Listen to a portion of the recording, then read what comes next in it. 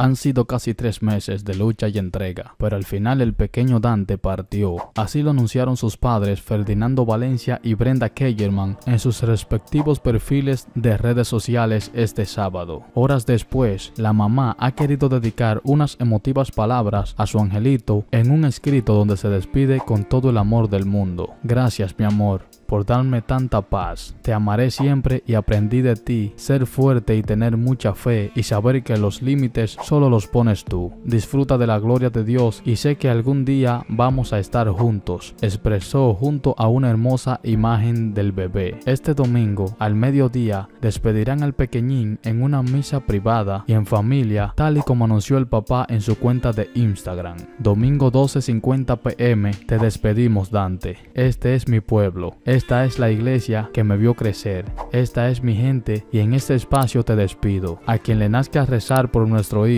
bienvenido. A quien desde su hogar lo haga, agradecidos eternamente. Una PM ha invitado el actor. De nuevo ha animado a quienes han hecho tanto por Dante a seguir la cadena de oración que comenzó cuando el bebé se puso malito. Será este domingo a partir de la 1 pm, tal y como indica su escrito. El pequeño perdió la vida este sábado debido a un cuadro de meningitis. Hasta el último minuto intentaron recaudar sangre para el pequeño que finalmente se marchó en paz y habiéndolo dado todo. Nos unimos a esa cadena de oración deseándote un lleno de amor y paz, chiquitín.